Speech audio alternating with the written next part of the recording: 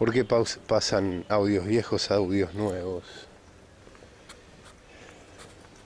¿Y por qué tienen la necesidad de borrarme archivos si no fuese porque copiaron mi trabajo?